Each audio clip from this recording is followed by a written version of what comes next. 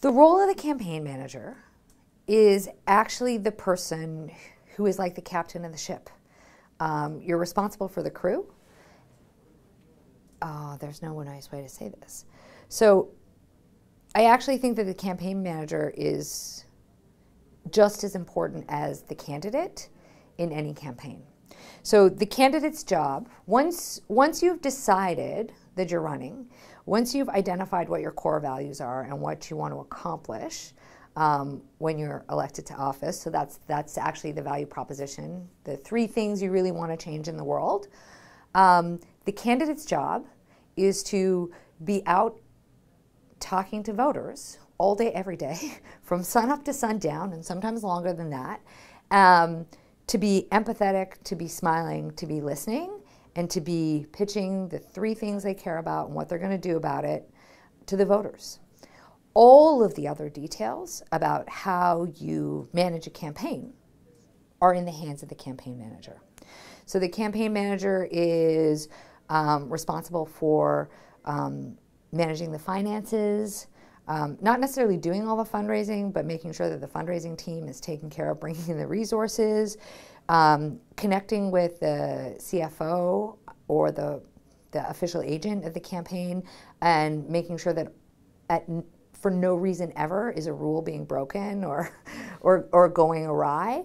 Um, they're responsible for knowing that the canvass director um, is on top of um, managing the team. So you've got your door canvass, you've got your phone canvass, um, you've got your digital campaign, you've got your, um, in a lot of communities, you might have a particular uh, multilingual outreach team or, or you know, neighborhood specific teams.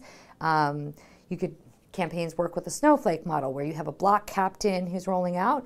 So the campaign manager isn't responsible for knowing all the details of how those things are being scheduled and carried out, but they're they're they're connecting with the campaign uh, the canvass director and making sure that those things are happening, that targets are being met.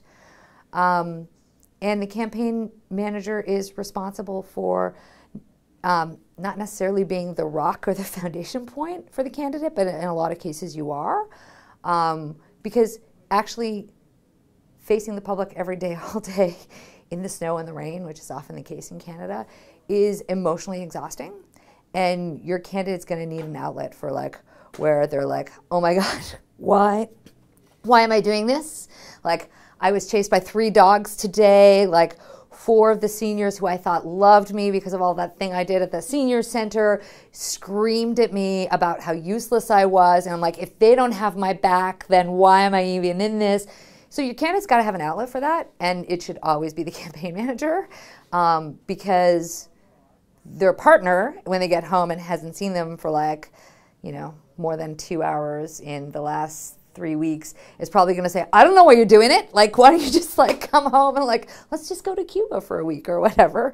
Um, and you certainly don't want them sharing those feelings with anyone who's a community influencer. And your candidate's close circle of friends are probably the chair of the parent council or the local soccer captain. So you don't want anyone outside of the campaign to see a fissure. So the campaign manager really is a, a rock to the candidate. Um, but candidates don't like this, but but really the reality is in a campaign, once the campaign is rolling, the candidate has um, relinquished the keys. They're no longer the driver. They're they're they're in the back seat of the car being driven. Um, or on the back of the bicycle, depending on, on what your mode of transportation is. But it's really the campaign manager who has um, all the responsibility and should have all the trust to be making the day to day calls and they can't do it all themselves. They need to have a really good team behind them that they're delegating to and supporting and managing. Um, but, but it's a huge role being a campaign manager. It's not something you do off the side of your desk. Um, on on E-Day, so here's the thing: most campaigns are long, um, even and and even if it's like three weeks or three months, um, at the end of the campaign, it's going to have felt like it was really long. And so I think that when you're planning a campaign, it's really critical to know that um, by the time E Day rolls around, your campaign manager is going to be just as wrung out as your candidate is. And so, a really critical part of planning your campaign team is um, having an E Day chair or an E Day coordinator. Um, and, and basically, E Day planning should start at the same time that the election campaign plan starts. And it's a group of fresh people and a couple of designates who've been on your team the whole time who are feeding information into that process. But um, somebody else is driving the car on election day. um, as a campaign manager on election day, um, I usually try to plan a day for my candidate that I think is um, going to give them a certain amount of fun and a certain amount of work that they don't feel like they're leaving anything to chance.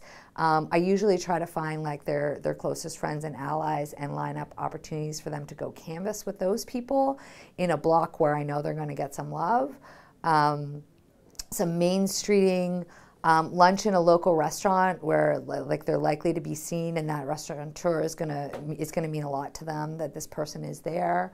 Um, getting them to go vote with their kids if they have kids or a couple of um, their really good friends from their soccer team or whatever, depending on who the candidate is. Um, and and I either run a zone house where I'm like, I'm out of the campaign office, I'm off of, I'm like, I'm not in the hot seat, and I'm I'm doing something, so I'm keeping myself busy, but I'm also not panicked and hysterical and trying to second guess somebody else's leadership either. Um, so, um, and if there's trouble, like if there's like some sort of thing that's blown up in the media, you're available and you're managing that issue and unless your candidate really needs to respond. You've, you've got your plan, you stick to the plan, and you don't deviate from it. And it's a keep calm, carry on kind of day.